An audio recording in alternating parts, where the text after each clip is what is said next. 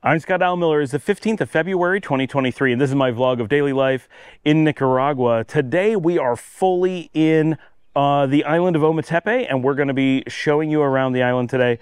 Let's get right to it.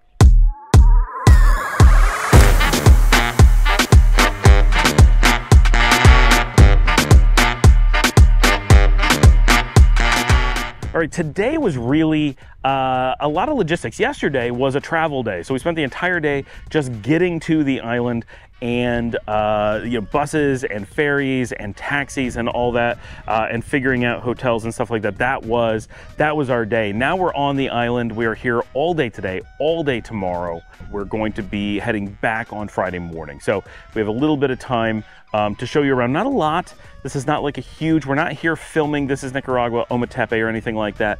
This was a chance to come out for an extended kind of weekend sort of thing. We have a lot going on on the upcoming weekends and just uh, some some, some things came together and it made it possible to run out and do a few days out here. Uh, we had actually hoped to go to Honduras and the people that were come, coming with us uh, found out that they needed a couple extra days of warning to tell the border they were coming in order to go. They don't need passports, but they need this extra time and we weren't able to do that. So this is where we were able to come on short notice and it's it's fantastic. Ometepe, if you've never been, uh, is one of those places you really have to go to in Nicaragua. This is one of the must-see locations. Uh, it really falls into like Granada, like Leon, um, it's at the very, very top of the This is Unique to Nicaragua places. It's a dual volcano island in the middle of an enormous freshwater lake. Uh, so it's not part of the ocean, even though it looks and feels like it much of the time. Uh, it's, it's just crazy unique with 50,000 people living on a volcanic island that's accessible only by ferry in the middle of the country. Like, nowhere else is like this. It's it's not just like ah you don't get to those every day. No no no. This is unique, really cool. Um, and uh, this is only our second time here. Dominica and I came in 2015 with the kids for a day. We never spent a night on uh, the island, so that's kind of exciting as well that we're going to spend quite a bit more time. We're, we're really getting more Ometepe under our belts uh, on this particular trip. Um, and doing a lot of reconnaissance so that we know what the status of things are now and making it possible uh, prepare in the future uh, for um, for filming This is Nicaragua, Ometepe. Sorry, my brain completely shut down there. Today ended up, and this is actually uh, really important when it comes to talking about Ometepe, a day of logistics on Ometepe. Uh, and I think um, I've talked to a lot of people and I've read a lot about uh, people coming here, and the story is very similar from so many people. It's really worth talking about uh, what it takes to, to, to be on Ometepe. So, when you're looking at this island, it's easy to, to see it as being a big tourist destination. Basically, everything on the island is geared around tourists. Uh, everything you see about it is activities and hotels, and um, it, it, has a lot of that uh, Caribbean Isle kind of feeling. Not the, not the food food and music that you would get in the Caribbean. It doesn't have that. It's still uh, very Nicaraguan and, if anything, more of the Pacific, and it's very close to the Pacific. Um, if you look at points that it touches, like La Virgen, it's only uh, 15 minutes from the Pacific beaches. So it tends to share that culture, but without whatever it is that makes the Pacific the Pacific, right? It doesn't have the, the fish and the salt water and the, and the breeze and those kinds of things that you do get on the actual Pacific. But other than that, it tends to be Nicaraguan Pacific culture. Uh, so that that's all very cool. Uh, when you're but when you're on the island you you think well it's got to have all this tourist infrastructure. Everyone goes there. It's on everybody's must see list in nicaragua. So of all the places i go i'll just show up and all will be well. There'll be so many options to do things. Absolutely not. This is not a place you can do that. Even though there is a strong tourist drive here a focus there is uh, so actually so little tourism going on on the island, and now with how how much um, the, the, the tourism industry is struggling here, uh, the amount that things have collapsed and are closed or people have given up, even though this is the high season. Um, everything is empty. Most things are closed. Uh, even restaurants, very hard to get in. Now you'll see tourists everywhere. Like that's not a problem. It's not that there's no tourist, right? Um, as you go around the island, so it has basically, it's not exactly a ring road, but it's like two ring roads connected. So it's kind of like a figure eight because it's basically two islands connected by a lowland. Uh, and you'll see people on scooters and, and ATVs zipping between the uh, the little towns and stuff and going around. But that's kind of the majority of what you see. That's where everybody is, is they're just on scooters or whatever. They're touring around the island, sometimes just during the day. A lot of them are not spending the night. Uh, it is a popular day trip location. Um, and so you see a lot of that because they're very, very visible. And what few restaurants there are, yes, you're going to get a lot of uh, foreigners who are there eating food and stuff because they have to. Uh, but the majority of the island is not going out to those restaurants. The majority of them are not going to the hotels. The majority of them, uh, 50,000 people, right? They live here and work here, and it's a it's a regular, uh, small, uh, relatively uh, poor community in Nicaragua, and that's that's really the basis of the island. The tourist, while visible, really, really visible, uh, don't make up that much of the activity that's actually going on. And so when you get here, um, eh, there are, everyone has these stories that like the hotels don't answer. You put them on WhatsApp, they, they don't answer you. You call them, they don't pick up the phone. Uh, a lot of them are closed. We went to hotel after hotel uh, yesterday uh, late at night, and they weren't even open. Like you, they didn't take walk-ins. Um, they were completely shut down. Um, they turn off the lights and everything, right? Like it's, um, and I get it if the economy's tough, but you have to be aware. You can't just show up. There's no central guide. Almost nothing is online. You look on even Instagram and Facebook, it's really hard to find any information on the hotels or restaurants here right? No menus online. The degree that we talk about how Nicaragua is not online and um, and it's hard to do like those online bookings and stuff with businesses in Nicaragua, all that is exacerbated to an extreme degree on Ometepe. Just take all of it up three notches. It's it's really mind blowing. It is a world apart. And the, the culture here is one of just, you know, you put up with it and, um, the, the, the big industry of tourism here is a, an extremely laid back it's backpackers and hippies who often are going to their own um, uh, prearranged hostels or uh, collective things and they're not looking at the more normal hotels. Uh, they may have some plans around that already. Uh, so that also contributes to the fact that the number of tourists does not really indicate how much tourist infrastructure you're going to encounter when here. So there's a lot of surprises that may be coming. I got up early this morning and did quite a bit of recording before anyone else was awake while we were at the Hotel Hefziba and uh, I did get a chance to film a little bit. So if you watched yesterday's episode, all the outdoor space that I show in the garden, that is the garden at Hefziba, and I filmed a little bit of it this morning as well. So I want to share that with you. I'm doing some of the recording for this now that I am back home, simply because all the reasons we discussed on the video today, very busy today, and all of my daylight was pretty much used either doing early morning filming or the logistics of the day. So we lost a lot of potential filming time, unfortunately, and looking forward to hopefully getting a lot more tomorrow. But the Hotel Hefziba was really nice. We walked to it from out of town last night. Uh, the rooms were pretty comfortable. Uh, they did have air conditioning. Like I said yesterday, the Wi-Fi was not the best, but they did have these beautiful gardens and beautiful outdoor seating areas uh, and tables and things to use. Um, and it was in a pretty nice location, not far south of Moyogalpa. Uh, and we were able to go for a walk this morning, which is when I recorded the video from the 12th that you saw previously in on Ometepe. That was starting from the Hotel Hefziba and heading south of the airport and then coming back. Sorry, I had to switch to a different recording venue to finish up today's update. So all of this comes together to really make a situation where, yes, Ometepe has a wonderful tourism opportunity, but as someone who may be going to, to Ometepe, you really need to consider that it, it does not have the flexibility of a larger market. If you're in Nicaragua in general, which is still a pretty small market, you have the ability to simply drive to another town and stay at a hotel there. If a restaurant is closed where you want to be, you simply go on to the next one. Even in a, a market as small as Nicaragua, you can easily do that. If you're in Leon and there's nothing, you just go on to Chinandega or go to Managua always an option. But you're on the island, uh, you're really trapped in a tiny market and that goes both ways. The businesses on the island have no ability to draw in more people than they already have. So if those people don't exist on the island, there's no way for them to make more money off of them. So the number of businesses are very limited and what they're able to provide is very little. And if there is not enough uh, tourism going on, they're simply going to be closed. Uh, so you really have to view things differently. Um, and I would recommend, if you're going to be on Ometepe, making plans ahead of time. Make a list of restaurants you want to eat at and where you would want to go should they not be available. Make sure you have some idea of what your transportation is going to be, what you want to do on a given day, and most importantly, where you're going to stay. Make sure that is worked out ahead of time because there is just so much to go wrong. And today was our day of really finding that out. These are things that I mostly knew, but I didn't realize the degree to which this was true.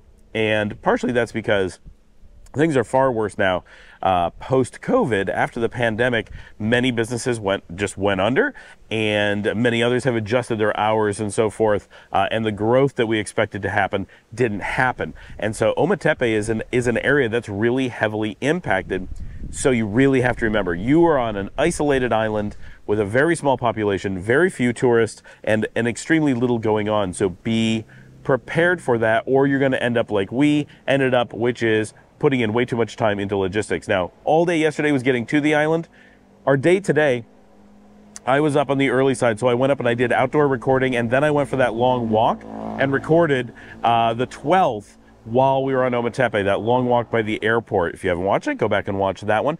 And um, so I had a nice morning, got some exercise in. That was great. Once everybody was awake, we hiked into Moyogalpa uh, proper because we were staying south of town by about a kilometer. Not bad. So we, we kind of gave it a late morning, got all packed up, checked out of the hotel, did as much uploading as possible, which was basically nothing, and, uh, and walked downtown. We thought, oh, there's going to be no problem at all. We're going to hit downtown and uh, there's going to be loads of restaurants and loads of things to do and it's going to be really easy to, to sit down and, and one of the things we didn't have a hotel figured out for tonight we knew we didn't want to stay in Moyogalpa uh, which actually I think we should have um, this goes with all the other things when you're in a place like Ometepe try to limit your logistical challenges. Partially that's by planning ahead, but also partially that partially that is by not moving around unnecessarily. So uh, don't don't jump to the, um, or I would recommend against jumping to uh, doing things like, oh, I just want to go over to this other village to see this little thing. And then I want to go over to this village and see this thing.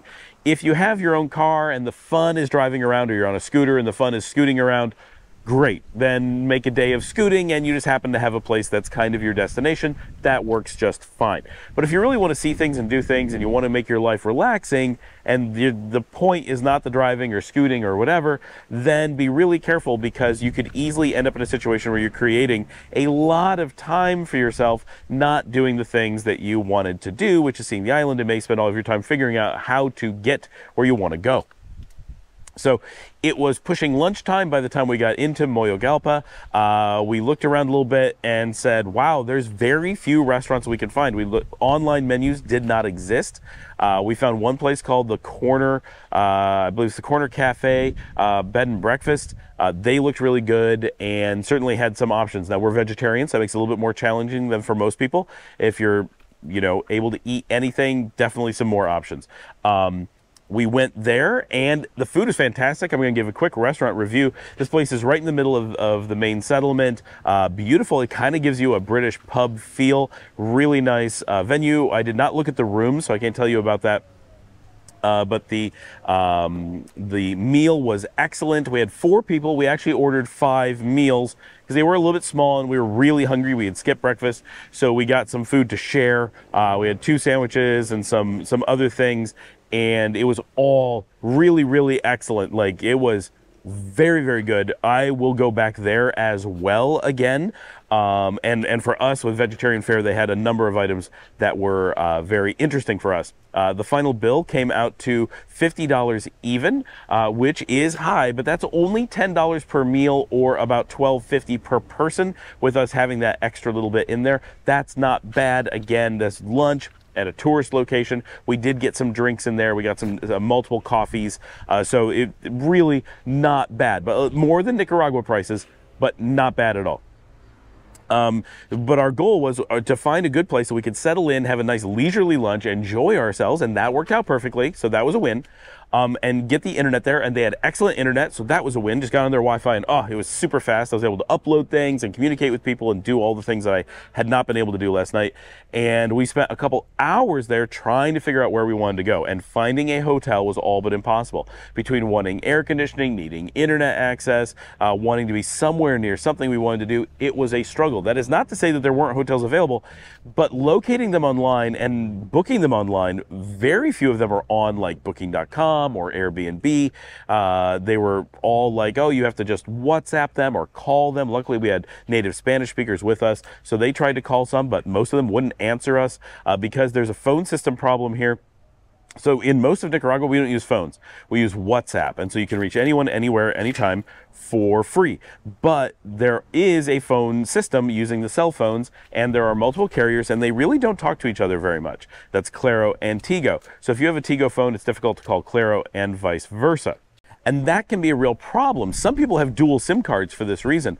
A lot of businesses will have a number for each carrier, so whatever you have, you're able to call them. Well, what we found is all of us are on Tigo, and every business we could find on the island was on Claro and Claro only. We were unable to call, even with local phones, we were unable to call or contact any business at all.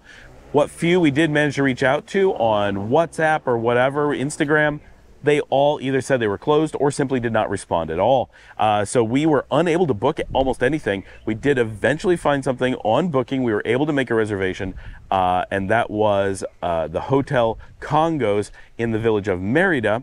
Really far away, but it looked really nice after we went through all these different places looking in, and we said, "Oh, this place looks fantastic. We could easily settle into this little village, and that'll be good." Now, again, there's only about 50,000 people on the entire island. Hopefully the sound of people racing on the street out there is not uh, too much. And with settlements like Moyogalpa having so many people, most of the other settlements have almost no one. Most of the villages you look at are absolutely tiny and they have essentially no resources. They might have a church, they might have a restaurant, they might have a hotel, but everything's might and only like one or maybe two. Moyogalpa is about the only place that has a selection of things. So if you want to go from restaurant to restaurant, you want to switch hotels, that's where you need to be. Otherwise, you're going to be in very rough shape. You easily are going to end up in a spot where you have no real choices. Merida is the largest city on the smallest side of the four kind of islands. It's kind of like a figure eight. This is on the south side of the East Island. Uh, and it, while it's the largest thing there, it does not have a paved road leading to it. It is on the dirt road. They are putting in pavers. That is happening really quickly, but it's way out there. So for us to get there, there is a bus, but it's very hard to schedule if you're going there. If you're going to one of the major settlements like Balgüe or Altagracia, those you can get to from Moyogalpa, there's a bus that runs that route. But going this way, there there is, but it doesn't run all the time, and we didn't know how to do it, and we didn't want to deal with it. So after our long leisurely lunch, we grabbed a taxi, the same one we took last night. He gave us a good price and drove us the hour out to Merida. A lot of that is because it's dirt roads. So we got to Merida, got to our hotel. The hotel is fantastic. We're really excited about that. And my filming at the beginning of today's episode is shot there at uh, Hotel Congos. And um, so there we settled in. We got um, casitas. They have nice air conditioning. They have adequate Wi-Fi. The whole thing was really good. They have a restaurant there, which we one of the things we required. We didn't want to have to worry about there not being a restaurant, because that's what'll happen, right? Oh, I found this great hotel. It's next to this great restaurant. Oh wait, that restaurant's not open now, or whatever that can be a big problem. So having a hotel where everything was in, was potentially inclusive was really important, and there was people to give us guidance and stuff and just everything. They had resources. Really nice hotel. Um, so the hotel Congos I recommend a lot, but book it before you go. Make sure there's rooms available. Make sure you know you're going there. Don't be like us and spend your most of your day worrying about getting there. So it was actually getting late in the afternoon by the time we got there, and we didn't have a lot of time to do anything. So we decided we weren't going to go anywhere because we didn't have time. It was it would take so long to get a taxi and go anywhere, so long to walk anywhere. There's nothing. We saw no restaurants. We saw nothing as we came in. Um, we had heard there were one or two things there. We weren't able to locate them. That's another thing. People will tell you about things. They're not even on a map, and you're like, I how am I supposed to ever find this stuff? It's not on Google Maps. It doesn't have a Facebook page. It doesn't have an Instagram page. It doesn't have a web page. No one has a phone number for it. It's just I heard of a name of a place in this town. Good luck, right? There's an awful lot. This is, you are stepping back 50 years here, right? Like you, it throws you off how little infrastructure there is for getting you to be able to go to a restaurant or an activity. Uh, so, um, so we we kind of got in and relaxed for a little bit. I did a little bit of filming, got got some of that caught up, so I was feeling good. And then everyone was kind of like, we're, we're kind of hungry and we really want to just relax and enjoy the fact that we're on Ometepe. So we went to the hotel restaurant and they were having, um, this is funny for a little hotel that has like nobody there because there's just nothing going on.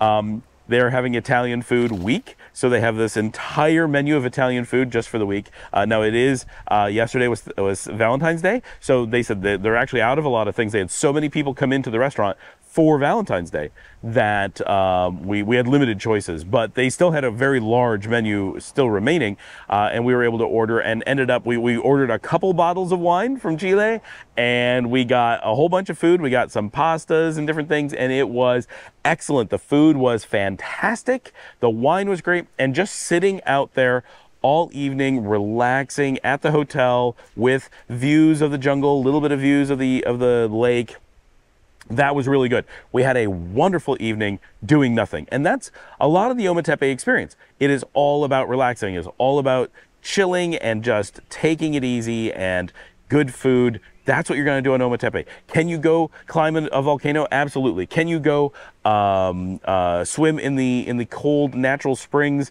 Absolutely. Can you go look at uh, some pre-Columbian uh, stone carvings? Yes, there are some really decent things um, that you can do on Ometepe, but there's there's not a lot of activities. They are few and far between. You have to make an effort to get to them, um, and uh, for the most part, it's about just enjoying a beautiful environment, maybe exploring the jungle, definitely exploring the beaches, checking out the restaurants, but that's a challenge, right? Make sure you you have a plan or you're okay with really scrambling for stuff and probably finding a hotel where you can really really just relax. And that was our day. That was our we took that right up until it was bedtime. We hung out there. We were like the only people in the restaurant all evening. So a few bottles of wine. We got uh, food and appetizers. We got the caprese. I got the pesto pasta, which was fantastic.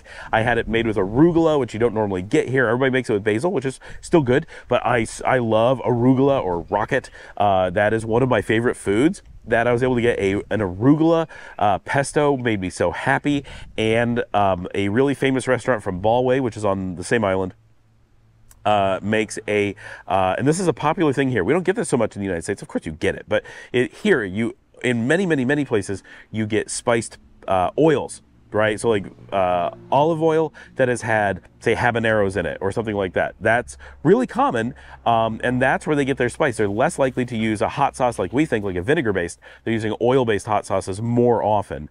And they had one from um, from Cafe Campestre in Balgüe that is olive oil steeped in scorpion peppers. And uh, I'm like, oh, I have to try this. So I added that to my pesto. Wow, really good. I can't I can't believe I'm saying scorpion pepper in pesto is the way to go. That was that was fantastic. And everyone else is like, I'm not even going to taste any of that. And I'm like, third helpings pouring it on. Dominic is like, are you out of your mind? I'm like, this is really delicious.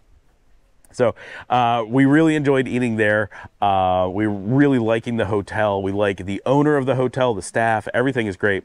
Uh, highly recommend it. And uh, that was our day. And and it we lost, in some ways, we lost the whole day to logistics, and in other ways, we just got to where we needed to go and sat and enjoyed wine and pasta on the lakefront. It was fantastic. So success, success by the end of the day. And lunch was fantastic too. And it was a nice walk this morning. So other than just there was a lot of logistics we had to deal with, it really was a, quite a nice day. Thanks for joining me. Please remember to like and subscribe. If you like to support the channel, help us get out and go to all these restaurants and bring these things to you and go on these trips. Buy me a coffee at buymeacoffee.com slash Scott Alan Miller. That helps to fund this channel and make this all possible. And for the last couple days, I can see that this content is a lot more exciting. I mean, I knew it would be getting out and going places, showing the restaurants, showing more of us out. And as the show takes off, it's easier for me to get my crew to be like, oh, we're going to film you. It's okay that you're filming. Like, yes, people need to see this. There's so much going on. Of course, this is interesting. So now that the show is taking off, they're, they're understanding that. And uh, get down in the comments. I know there's lots of questions about food, lodging, activities, transportation in Ometepe. Let's talk about it. And uh, as always, share on social media, tell your friends about the show. And uh, as always, I will see you tomorrow.